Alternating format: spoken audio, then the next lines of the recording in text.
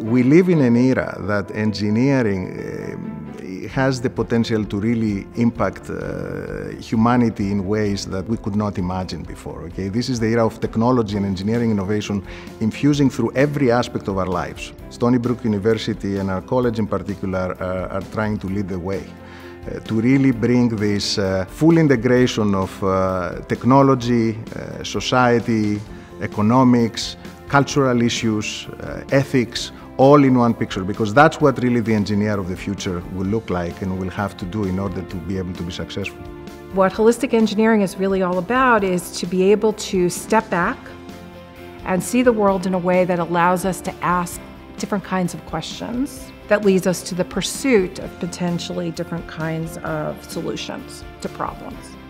Our research uh, is structured along four major cross-cutting thrusts. The first, energy systems for uh, sustainability, renewable energy, energy efficiency, uh, environmentally friendly uh, combustion systems, uh, energy storage, grid integration, uh, and policy.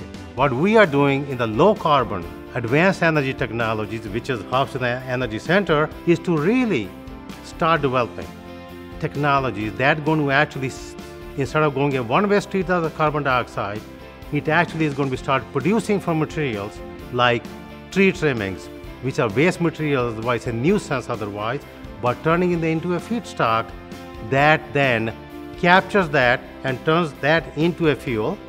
And then when it goes back, what, what they call is a, it's a CO2 net neutral because this came from something that utilized CO2 from the atmosphere when you grow a tree.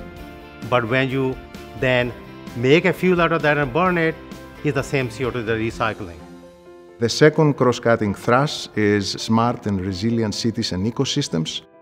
One application is, for, for example, transportation. We're recently uh, part of a, a large multi-university initiative to uh, develop infrastructure that's secure and resilient. The approach that we're using is, is we have funding to instrument our highways and bridges and collect all kinds of different types of data.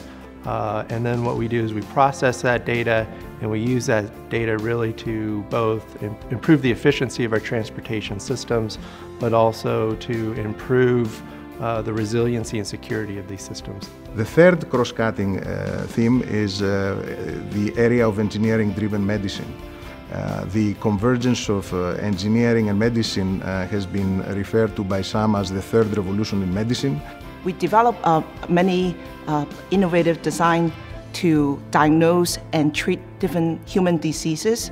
One of the very, very fun things that we're doing right now is to develop a game that we can use uh, virtual reality uh, to help people lose body weight.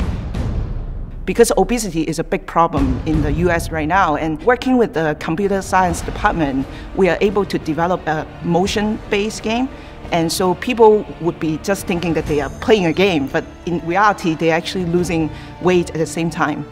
Even though I'm in biomedical engineering, I've had to learn about electrical circuit analysis, I've had to learn about mechanics, I've had to learn about dynamics, so there's not just one aspect, but it's a holistic approach to it. Stony Brook has amazing students. One of the things that impresses me is the diversity of the students. They are diverse from the point of view of the U.S., they're diverse in a global sense. So when I'm teaching a course, I literally have students from all over the world. And that adds a particular dimension, interesting dimension to everything that we do. The fourth uh, cross-cutting theme uh, is the securing cyber everything. In my view, this is the grand challenge of them all. We have established a couple of years back in Stony Brook a National Security Institute. This is a a team of interdisciplinary researchers, most of them are faculty members, and associated researcher, postdocs, and graduate students uh, that come together to research and develop technologies to secure uh, basically all types of digital data. There is a growing realization that the uh, security does not only depend on the software solutions, we need to develop fundamentally new hardware solutions to secure computers. And we are one of the leaders in, in this, this particular area.